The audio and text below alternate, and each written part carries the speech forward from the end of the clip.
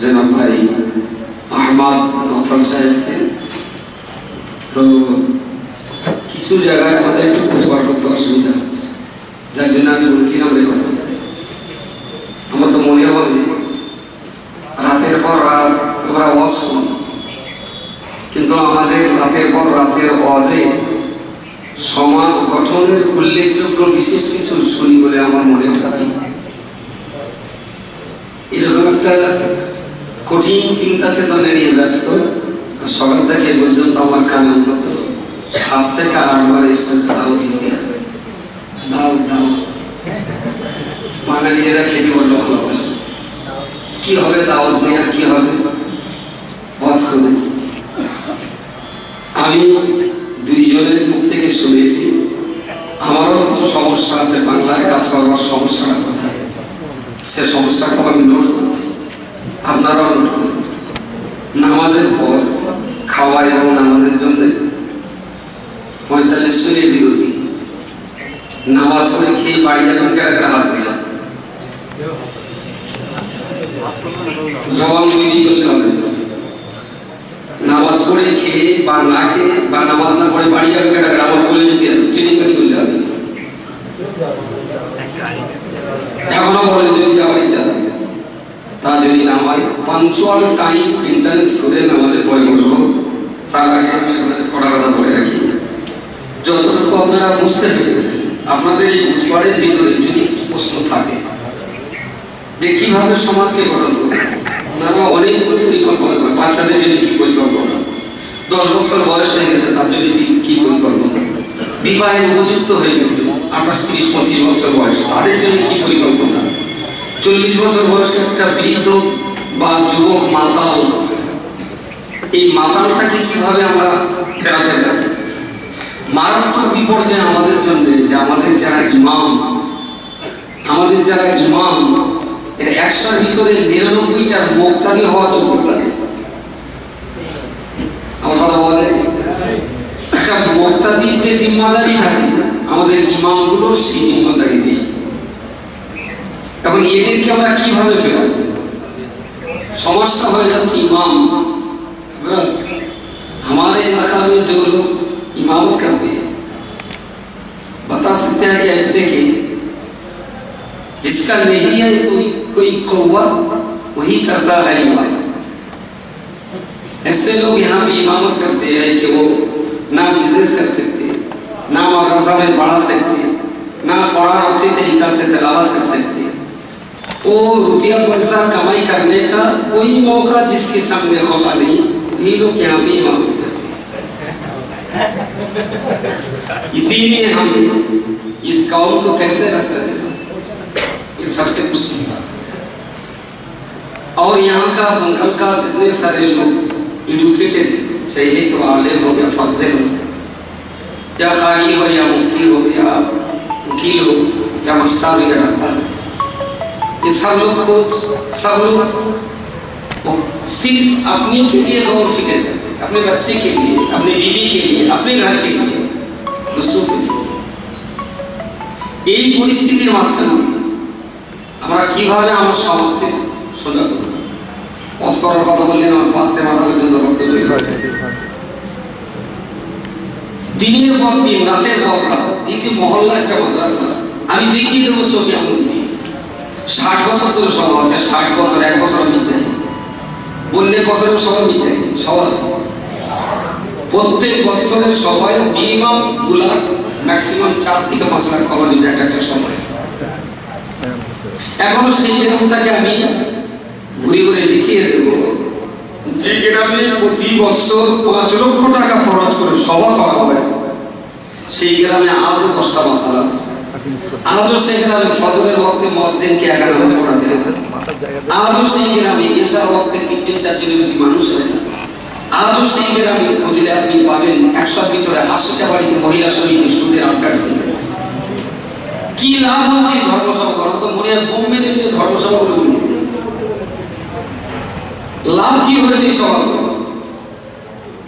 ওই গ্রামটায় যদি বছরে তিনটে, চারটে, পাঁচটা সভা হতো দুটো সভা বন্ধ করে এক লাখ টাকা যদি মহল্লা মাদ্রাসার কথা লাগানো হয়েছে এক লাখ টাকা যদি আমরা মাদ্রাসার পিছনে খরচ করতাম।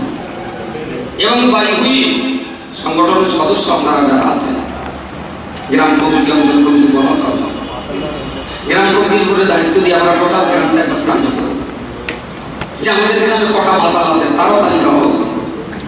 আমাদের গ্রামে কটা বেওয়া মহিলা আছে, তারও তালিকা হওয়া আমাদের গ্রামে কজন খরচ করতে জানে না, তারও রিপোর্ট হওয়া উচিত। আমাদের গ্রামে কতজন একেবারে নিরক্ষর শিক্ষিত স্কুল যায় না, তারও তাই পাওয়া উচিত। আমরা মহল্লা সার্ভে করবার একটা একটা ফর্ম তৈরি করেছি, সেটা আপনার কাছে আমাদের কাছে দেব। সত্যি করে বলেন, আমাদের সঙ্গে কি আপনারা কাজ করবেন?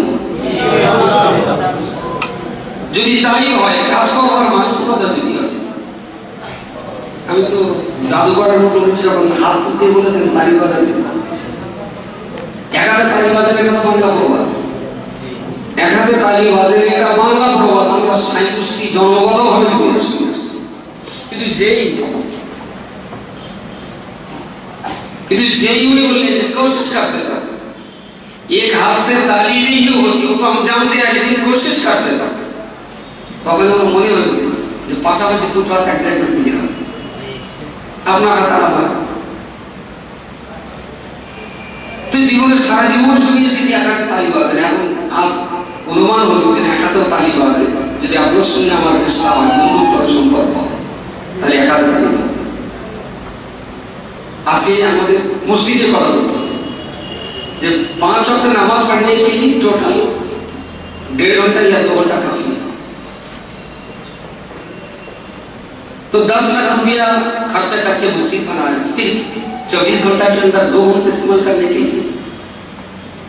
یہی مسجد رکے آمدے دن آمدے بھی ہوتے خدا کا چلا اس پر۔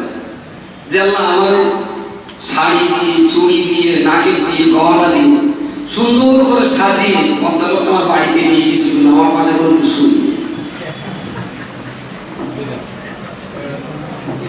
ওনারা বুঝলে অসুবিধা জোগাড় করে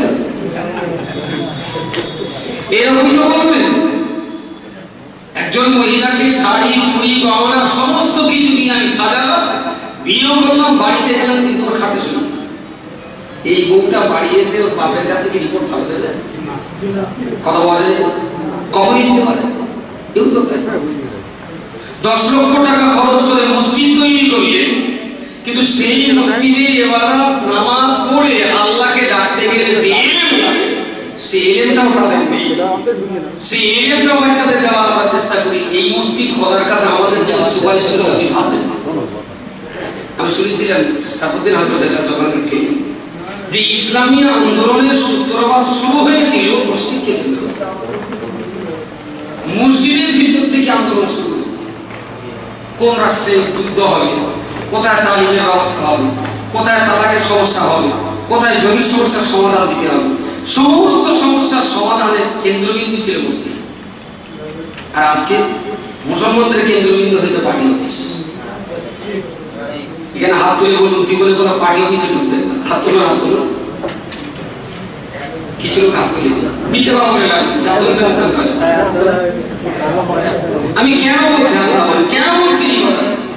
আজকে মুসলমানদের তারা কি বিচার পার্টি অফিসে সুবীর মিত্র আর গৌর চ্যাটার্জি তারা বলবে না আমাদের তারা কি সিদ্ধান্ত আমরা বুঝিয়ে করতে পারি না কেন আমাদের ইজ্জত কাউরা কুচির হাতে তুলে দেবো আমরা আমাদের মুসলমানের ভাই ভাই ঝগড়ার সমস্যা কেন হরিপদ পায়ে মেটা দেওয়া যাবে আমরা মেটাতে পারি না সুতরাং मुसलमानों की हर मामला की इस्लाह करने के लिए मस्जिद को मरकज बना है মরকজ বললে আবার অন্যরকম একটা ধারণা তৈরি হয়।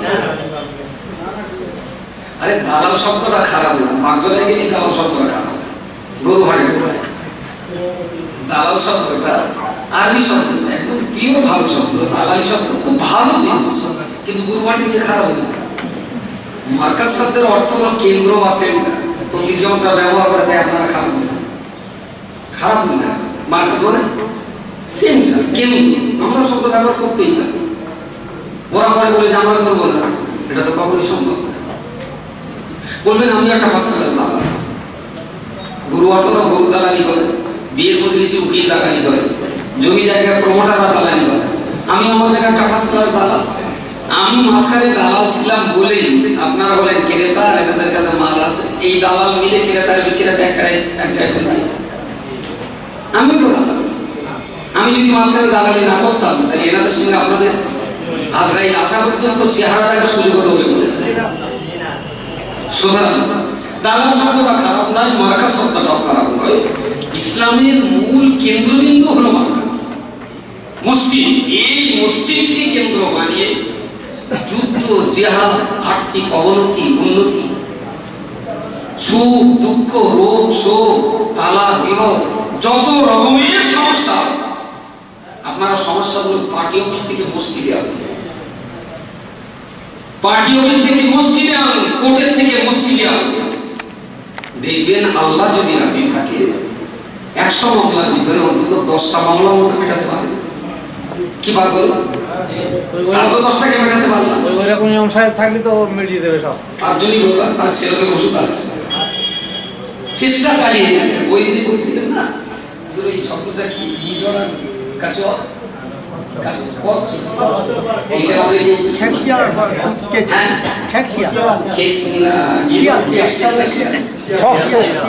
উনি যেটা বলেছেন যে একটা কচ্ছপ আর একটা শিয়াল তো কচ্ছপটা তারা বলেছে শিয়াল খেতে যাবে ভুলেও বলেছে তাহলে আমার ছেড়ে দাও বুঝে গোয়াদা হয় আমার একটা প্রতিশ্রুতি আছে তিন মিনিটে তুমি ছাড়ো তো তিন মিনিট ছেড়ে দেওয়ার পরে খুব বালি তার মানে বালি ঘরে উঠো কটা করে সমান বাড়িটা রক্ত পথে দিচ্ছে কি করে বলছে এবারে তুমি আমায় খাও বলছে কেন বলে তুমি আমার খাওয়ার পরে যে হাঁড়গুলো পড়ে থাকবে আমার পরবর্তী জেনারেশন যেন দেখে যে শ্যালের পেটে গিয়েছে তবে অনেক চেষ্টা করে তাই গেছে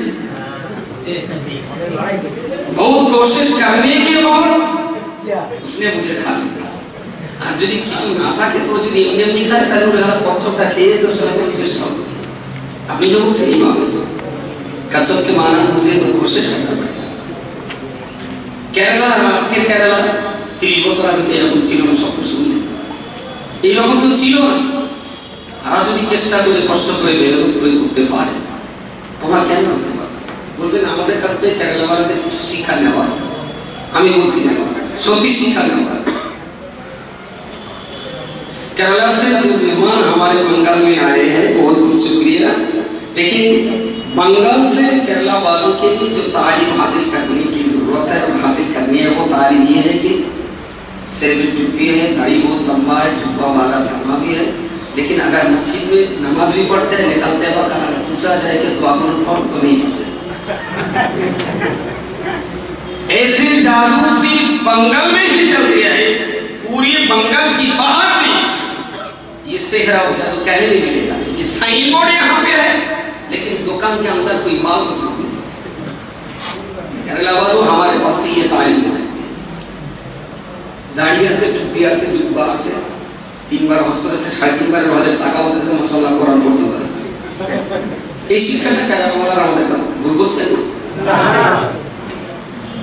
আমার নিজের অভিজ্ঞতার কথা বলছি কোনো কোনো মুষ্টির এমন আছে মোতালি সাহেব ফোন করেন যে একটা ইমাম দরকার বলে কেন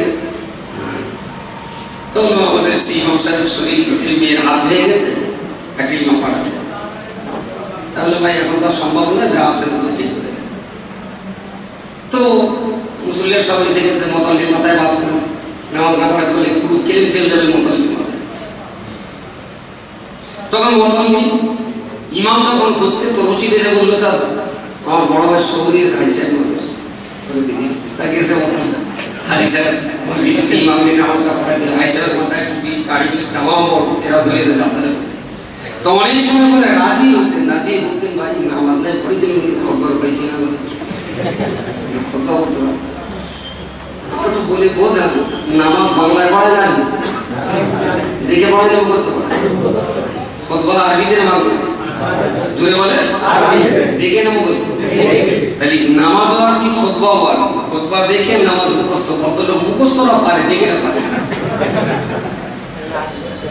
এরকম আছে না নেই? তাহলে এটাই কেরালাওয়ালা আমাদের কাছ থেকেই দাঁড়িয়ে সুতরাং সমাজের এই দুরবস্থা, ধর্মীয় দুরবস্থা, আর্থিক দুরবস্থা, সামাজিক দুরবস্থা কাটিয়ে ওঠা সম্ভব। যদি আপনার হাত আর আমার হাত, দুটো হাত যদি আমরা পাশাপাশি রেখে চেষ্টা চালিয়ে যেতে পারি। চেষ্টা মান জাদ্দা হওয়া যায়। যারা চেষ্টা করে, তারা পায়। সেই জন্য তাদের কাছ থেকে আমি তো ওখানে যেও তারিখ নিয়েছি। আজকেও তাদের কাছ থেকে অনেক মূল্যবান কথা আমি শুনেছি। তার ভিতর থেকে আমি মাদ্রাসের মাদ্রাসা সিস্টেমে কথা বলেছেন। বলেছেন, যারা বয়স্ক হয়ে গেছে, এদেরকেও তালিম দিই। আগার দু রাখার নামাজ পড়ে না। তো সেই সালাম এই যে দু রাখার নামাজ। আমি যদি ঘুরিয়ে বলি না, আমাদের এই সামনে রমজান মাস। রমজান মাসে আমাদের মসজিদে খতম তারাবি হয়, আমাদের মসজিদে সুর তারাবি হয়। তো খতম তারাবি যে সমস্ত মসজিদে হয় এসান নামাজটায় কি পড়ে? এটা একটু বোঝা যায়। বাকি তারাবিতে কি পড়ে? হিন্দিতে খতম দিচ্ছে না ইংরেজিতে খতম দিচ্ছে কিছু বোঝার নাই? এই খতম বন্ধ করা এই খতম বন্ধ করুন। খতম করা তো অজিব নয় ফরজ নয়। তারাবিটাই পড়ুন যার মুসলিমরা বুঝতে পারে। আবার হাবের সাথে ধীরে সুস্থে পড়বে তার তো টাকা যদি একবার পড়তে এক ঘণ্টা পনেরো মিনিট লেগে যায় ওই মসজিদে বাইরে এসে কি ইমাম সাহেব দিয়েছিস এত সময় লাগে রশিদকে মসজিদে দেখেছিস? চার রেখার ফরজ শূন্য সমেত টোটাল তারা তেত্রিশ মিনিট শেষ। এবং রিপোর্ট, চায়ের দোকানে গল্প করে ওর ইমামিও করিস ইমাম একটা আমরা পেয়েছি। পঁয়ত্রিশ মিনিটের ভিতরে টোটাল তাদের সুবহানাল্লাহ। কি চুলগুলুতি তারা তারাবি পড়ে আমি তো মাথা মুন্ডু করতে কেন পড়তে গেছিস মাঠে মিনিট পড়িস না? এই তারাবি পড়ার কোনো যদি ধীরে সুস্থে কুড়ি রাখাত পড়তে না পারেন আট রাখাত পড়েন যদি আট রাখাত পড়তে নাও পারেন নেশা করে শুয়ে পড়েন কথা শুনে চিটিংবাজি করে লাভ নেই। আল্লাহর সঙ্গে চিটিংবাজি করে লাভ নেই। আমাদের এই রমজান মাসে আকসার মসজিদ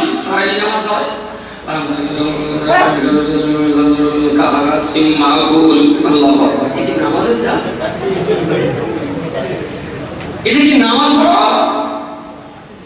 খতম তারা তো কোনো দরকার নেই সুরা তারা দিয়ে যথেষ্ট ধীরে শিখছে তো যে দেশে ইমামদের কেরাত মুক্তাদিরা বুঝতে পারে না, সেই রাজ্যে একটা মানুষকে বলছে দুরাকাত নামাজ পড়ুন ও সেই সালাম সময় লাগবে কষ্ট হবে। মেহনত চালিয়ে যেতে। আমরা আশাবাদী আজকে এই মজলিসটার পিছনে ওনারা এসেছেন, ওনাদের খরচ হবে। ছাত্র এসেছেন, অন্তত চার চার ষোলো হাজার টাকা খরচ হবে। আমি কলকাতাতে নিয়ে এসেছি আমার বাবু ভাই আমার তাদেরকে ওখান থেকে রাজার গায়ে মেহমানদারি করেছে, চাকরি ওনারা থাকা আজকে আপনারা যা এসেছেন আপনাদের হচ্ছে দাম আছে পথ খরচা আছে ফের দুপুরে খাওয়া দাওয়া আছে খুব কমও যদি হয়, আজকে এই অনুষ্ঠানটায় আপনাদের খরচ আর আমার খরচ মিলিয়ে অন্তত তিন লাখ টাকা খরচ হয়ে যাবে। হবে তো না হবে? সবার গাড়ি খরচা করতে তিন লক্ষ টাকা আমার সেই খরচ হয়ে যাবে কিন্তু তিন লক্ষ টাকা খরচ হয়ে লাভ কি হবে? যদি তিরিশ লক্ষ টাকার কাজ আদায় করতে না পারি?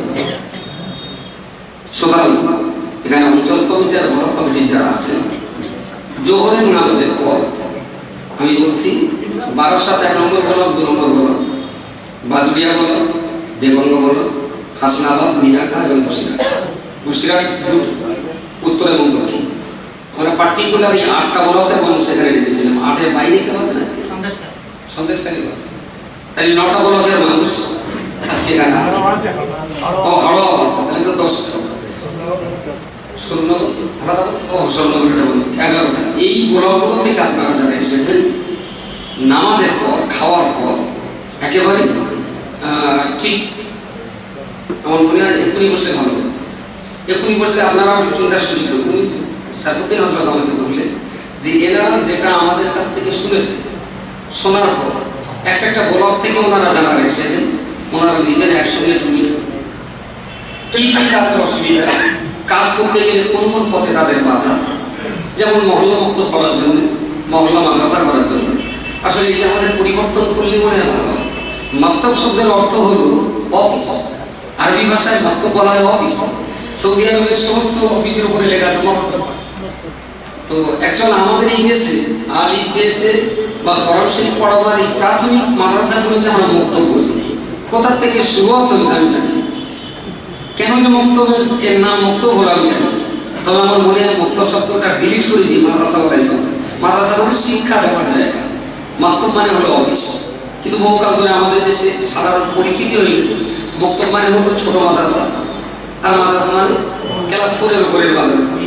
যাই হোক, এনারা যে মহল্লা মাদ্রাসা করবার কথা আমাদের বারবার তারিখ দেন এনাদের সেই প্রস্তাব অনুযায়ী এবছর আমরা পাঁচটা জায়গা ঠিক করি পাঁচটা জায়গা ঠিক করি যে পাঁচটা জায়গায় আমরা মহল্লা ওই মডেল করার জন্য পাঁচটা জায়গা।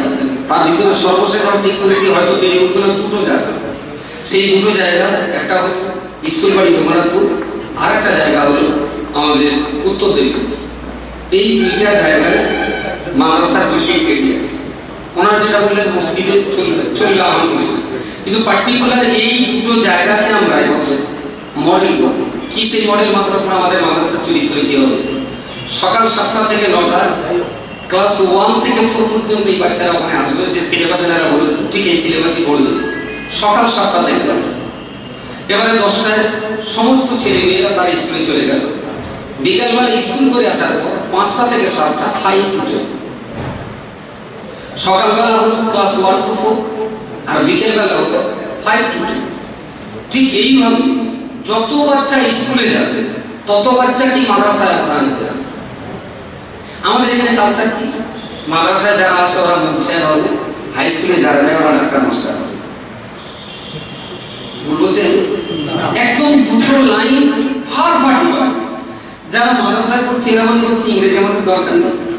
আবার যারা ইংরেজি কলেজ ইউনিভার্সিটিতে পড়ে মনে করছে ও জানাজা আমাদের ধর্ম আমাদের দরকার নেই কারণ বাপ মা মনে গেলে জানাজা তো পড়াবার দায়িত্ব পরে পড়িয়ে এই সামনে ছয় বারাতে কত মহিষায় কোরআনটা বুকি করলে সারা গ্রামে গ্রামে করবে যার যা দাদি টাদি জান্নাতে যদি অসুবিধা ওরা বাম্পার টেনে দেবে ইঞ্জিন ম্যান মাঝে মাঝে বাম্পার আটকে যায় রাস্তা লাগে ঠেকে দেয় তো বছরে একটা করে বাম্পার আল্লাহ দেয়, তার নাম হলো ছয় আর এই বাম্পার ঠেলে ইঞ্জিন ম্যান পার করে দেওয়া দায়িত্ব মসজিদের ইমাম সাহেব আমি জানি না, যে বাড়িতে তিনটে ছেলে, চারটে মেয়ে, সেই বাড়ির কোরআন খতম বাইরের আলেম কেন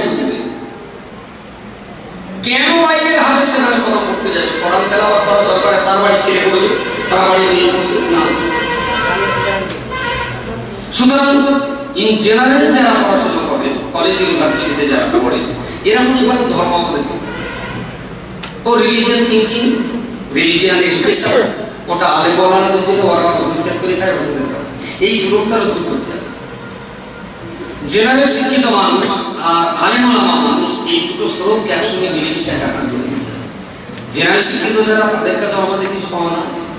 আবার আমাদের কাছে? তাদেরও কিছু পাওনা আছে। আমাদের রোগ হলে ওনাদের ডাক্তারের কাছে যায়। তাই ওনাদের নামাজটা দরকার হলে আমাদের কাছে কেন করা না? আমাদের জমি মাপন দরকার হলে একজন বিএলআর অফিসারের কাছে আমরা চলে যাই। সে তো মাদ্রাসায় বড় অফিসার না। তো বিএলআরটা যদি মুসলমান হয়, সেখানে বাপের জানাজার তালিমটা আমার কাছ থেকে নেবে। আমার যেটা দরকার আমি সেটা তার কাছ থেকে তার যেটা দরকার আমি সেটা আমার কাছ থেকে নেব। আমার মনে হয় তবে একটা সমাজ কামে এগিয়ে নিতে পারে। এখনও আমাদের সমাজে হয়তো সুন্নতুল জামাতে কর্মতৎপরতায় কিছু আলেম আর কিছু ডাক্তার মাস্টার আমরা একটু মিলেমিশে এক জায়গায় বসেছি। কিন্তু এখান থেকে দশ বছর আগে সাধারণ শিক্ষিত মানুষ আর মাদ্রাসায় শিক্ষিত আলেম এই দুটোর ভিতরে মনে হয় এতটা যোগসূত্র ছিল কি? ছিল। সুন্নতি জামাত প্রথম যখন করা হয় তখন এর একটা এ ছিল। যে তুই সুন্নতি গাড়ি নেই সেক্রেটারি করবি? এই প্যান্ট শার্ট পরে সভাপতি করবি? আমি দিকে দাঁড়িয়েছিলাম আমি যত সাগর মাগর চাষা চালা আছে, সেই সব হয়ে যাবে। সেই সব হয়ে গেল। শুধু একটা সম্প্রদায়কে দিয়ে একটা জাতির উন্নতি ঘটানো কখনোই সম্ভব এখানে জেনারেশনের শিক্ষা দরকার, এখানে ধর্মীয় শিক্ষার দরকার। সবাইকে মিলেমিশে একাকার করে দিতে হবে তাই সমাজের উন্নতি হবে। আজকে এই সংগঠনের কর্মতৎপরতায় অনেক জেনারেল শিক্ষিত মানুষ আলেমদের কাছাকাছি এসেছেন। আমরাও গর্বিত যে তাদের কাছাকাছি উন্নতি করতে এটা আরও বাড়াতে হবে। এখনও সমাজে কিছু আলেম আছে, তারা ভাববে তো ভাববে তো হেডমাস্টার প্রতি করে, স্কুলে যায় মুসলমানের চান এখন অনেক আলেমদের ধারণা আছে, কিন্তু জানে না যে ধুতি পরা হেডমাস্টার রাত্রিবেলা বারোটার সময় ধুতি তুলে তাহার জন্য পড়ে। আবার এটাও ঠিক, সাধারণ শিক্ষিত মানুষ যারা আলেমদেরকে বিরাট ভক্তি শ্রদ্ধা করে, ওরা জানে না যে আলেমরা রাত্রিবেলা ছড়া জলসা করতে করতে এসে নামাজ পড়তে পারে। ঘর চালে খড় থাকে না, একটা প্রবাদ আছে না? আমি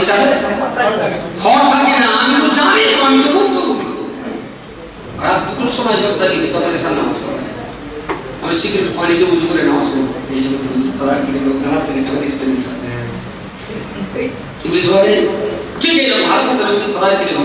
দাঁড়াচ্ছে, তো সব চলে যাচ্ছে নামাজ পড়ে আমি বলছি নামাজ পড়া হয়নি ওদের লোক দাঁড়াচ্ছে। এসব পাঞ্চল কোন জুতোতে জুতো আমি তো ধর্মসভায় যেহেতু নামাজ পড়ার কথাই বলব, আমার নিজের নামাজ পড়া হয়নি, ওর কথা নামাজ যায় না, সবার নামাজ ধর্মের চরিত্রটা বলা যাচ্ছে আর এটাই হলো ধর্মসভার কমিটি সেক্রেটারি খিস্তি করতে বলে আমরা বুঝতে পারবে না বলে আছে। লোকের সামনে সব কথা বলা যাবে লোকের সামনে। এই, আমি চাইছি যে আপনারা যদি আমাদের সঙ্গে মিলে মিশে একাকার হয়ে থাকেন, আমি আশা আশাবাদ এই জাতি হিন্দু আমি এখনও আশাবাদী এই কবের মধ্যে কারও যাবে যদি আমরা সমানভাবে চেষ্টাটা চালিয়ে যাই, সমানভাবে যদি চেষ্টাটা চালাই খবরদার, আলেম যারা আছে এর ভিতরে অনেক আলেম আছে। শিক্ষিত ডাক্তার, মাস্টার, বেকার শিক্ষিত ছেলে যারা ওদেরকে কখনো অপাঙ্কে মনে করবেন না। একটা মাতালকেও কখনো অপাঙ্কে মনে করেন না। একটা মাতালের সঙ্গে আমার কিছু জিম্মাদারি আছে। গ্রামের নশো নিরানব্বই জন ভালো মানুষের একটা মানুষ মাতাল। এই এক হাজার লোক কি আমাদের দিন আল্লাহর সামনে দাঁড়াবে। এই মাতাল্লা সম্পর্কে কি নশার নিরানব্বই জন কি জব দিতে হবে না? যে তোমরা এতটা তো ভালো মানুষ ছিলে, একটা মাতালকে তোমরা ভালো দেখাতে পারবি কেন? ধর্ম সময় আমরা মাতালের বিরুদ্ধে অনেক বক্তৃতা করি, কিন্তু কোনো দুটো মাতালের বাড়িতে যে তাকে হাতটা ধরে বলেছি, যে তোর সুবিধা অসুবিধা আমি দেখছি, তুই আমরা অস্তিকটা খাস না। ওর বাড়িতে যে দুদিন তিন দিন খাওয়া হয় আমরা কি এক কেজি চাল নিয়ে ওর বাড়িতে গিয়েছি? আর ওর বাড়িতে যদি উঠি না ফের যদি কেউ দেখতে পায় রাস্তায় তাহলে বলছে আবার মাতালের থেকে ফের বসে কোনো লাইন চাই না ও তো মদ খেয়ে পড়ে থাকে সেই সুযোগটা চলেছে। এই আমাদের কালচার আমাদের পরিবেশ তো এইটাই। এটা করলে হবে। না তারও তারা যদি ভালো পথ দেখাতে তাহলে কাছাকাছি হতে হবে। তার নিকটে নিকটে নিকটে যেতে হবে। তাহলে আমরা তাকে ফেরাতে পারব না। পাশাপাশি আহ, আরও গুরুত্বপূর্ণ কিছু কথা নিশ্চয়ই যথাসময়ে আমি আপনাদের একটা সমস্যা যেটা রয়েছে, ইমাম এবং সচেতন হওয়ার যে পরিস্থিতি, ইমামকে আমরা কীভাবে মেরামত করতে পারব? মুসলমানদেরকে কীভাবে সচেতন করতে পারব? ওর বাচ্চাটা, আমি একজনকে বলছি, ভাই, আপনার বাচ্চাটা একটু আর্মি পড়ান। তা হচ্ছে ভাই যখন কেজি স্কুলে পড়ে বিরাট চাপ। কেজি স্কুলে পড়ে বিরাট চাপ। ওই ভাই মুক্তরের মাদ্রাসায় আর্মি পড়তে পারবে না। আচ্ছা কোনো কিছু না বলে আমরা যদি ছোট্ট করে একটা কথা বলে রাখি যে ভাই, তোমার বাচ্চা কেজি স্কুলে পড়ে ইংরেজি অঙ্ক, ভূগোল, বিজ্ঞান সব পড়ুক, আলহামদুলিল্লাহ। তুমি একটা ভালো মানুষ, সৎ মানুষ, তোমার সঙ্গে কোনো ঝগড়া নেই, আমরাও ভালো মানুষ, তুমিও ভালো থাকো। তো তোমার বাড়ি থেকেও যখন মরে যাবে, তুমি তখন মাস কাটবে আর তোমার বউকে উন্নতি করবে, আর তোমার ছেলে পেলে যারা আছে আর তোমাদের করে খবর দেবো তোমার আপনি জিম্মাদারি আমারই করবে কোন কথা যায়? তোমার বাড়িতে মরে গেলে বাঁশ কাটা, কবর পড়া জানাজা পড়া, বিয়ে শাড়ি সব তোমার তোমার সঙ্গে আমার কোনো ঝগড়া নেই তুমি তোমার জায়গায় জায়গায় দেখি ওর বাচ্চা তবে না পাঠিয়ে কতদিন থাকে। কথা বলা যায় আছে এক বছর, দু বছর, তিন বছর ঠান্ডা মাথায় হাতে ধরে, পায়ে ধরে বলে বুঝিয়ে যখন দেখব, কোনো মতেই যখন হবে না, তবে তিন বছরের মেহনতের কারণে ইনশাআল্লাহ গ্রামের সিক্সটি পার্সেন্ট সেভেন্টি পার্সেন্ট মানুষ আমাদের সাপোর্ট করব। আমরা তাদের টাকা চাচ্ছি না, জমি চাচ্ছি বলছি তোর বাচ্চাটা একটু এটেনবে তাই? যদি সিক্সটি সেভেন্টি পার্সেন্ট মানুষ যখন আমাদের এই মাদ্রাসার আওতায় চলে আসবে, তখন যদি দুটো মানুষ যাদের বাচ্চা মাদ্রাসায় পাঠাবে না, এবারে যদি জুমার দিকে তাকে দান করিয়ে বলি, তোমার বাড়ির হওয়া মরা জিম্মাদারিটা তোমার। মসজিদের কোনো মুসলিম তোমার বাড়িতে হওয়া মরা জিম্মাদারি দেবে নিশ্চয়ই তাকে ভাবতে হবে। সুতরাং একটার পর একটা স্টেজ বাই স্টেজ এনারা যে তালিম আমাদের দিচ্ছেন এই প্রজেক্টগুলো যদি আস্তে আস্তে আস্তে আস্তে আমরা যদি অ্যাপ্লাই করতে পারি, আমরা আশাবাদী এই বাংলার জমি ফিরবে। এই পশ্চিম বাংলাতে মডেল এই চব্বিশ পরগনা হবে, তখন সময় নেই হতাশ হলে হবে না দম ছাড়লে হবে না। যতক্ষণ শ্বাস, ততক্ষণ আস। বাংলা একটা প্রবাদ বাক্য বলে যে, নাকে বিশ্বাস যত সময় চলবে, চেষ্টা চেষ্টা, তত সময় করতে থাকবে এখন কুড়ি মিনিট আপনাদের সময় দেওয়া হবে। কুড়ি মিনিট। এই কটা ব্লক এই কটা ব্লকের মানুষ প্রয়োজনে আমবাগানে বুঝতে পারে, এখানে বুঝতে পারে, এখন থেকে নিয়ে ঠিক আড়াইটে পর্যন্ত আপনাদের ছেড়ে দেওয়া হবে। এর মাঝখানে নামাজ হবে দুটো, ঠিক দুটোর সময় নামাজ পড়ব, তারপরে খাব। আর এখান থেকে দুটো পর্যন্ত আপনাদের ছেড়ে দিলাম। বলুন আপনারা গোলক বলুন গোলক থেকে যে সমস্ত ভাই এসেছে এক জায়গায় বসে সমাজ গঠনের এই চিন্তা ভাবনা আপনার ভিতরে কি আছে আর আমার ভিতরে কি আছে? আমরা কজন এক জায়গায় বসে প্রত্যেকটা ব্লক ভাই আলাদা আলাদা করে নিয়ে নিজের একটু ভাব বিনিময় করে আপনাদের ওই ব্লকের কি কি প্রশ্ন আসতে পারে? সেই প্রশ্নগুলোর জবাব ওনারা দেবেন এবং সমস্যাগুলো কীভাবে সমাধান করা যায় তার চেষ্টা আমরা করব। তো একটা পর্যন্ত, উপরের নিচে আম বাগানে যেখানে ইচ্ছা সেখানে ভুল হয়ে আপনারা এক একটা ব্লকের মানুষ বসে একটা সিদ্ধান্ত নিয়ে দুটোর ভিতরে লিখে নেবেন কার কি প্রশ্ন, মুখে সমস্যা হয় বাংলায় লিখে দেবেন, আমরা উর্দুতেই ওনাদের কাছে করব করব। ওনারা আবার সেগুলো আপনাদের জবাব দেবেন। এখন থেকে দুটো পর্যন্ত টাইমটা দয়া করে মেহরবানি করে পায়ে ধরে নিচ্ছে টাইমটা আপনারা আসছে ঠিক দুটো পর্যন্ত এই কাজ দুটোর পরে নামাজ, নামাজের পরে খাওয়া। খাওয়ার পরে আমরা আসসালামু আলাইকুম।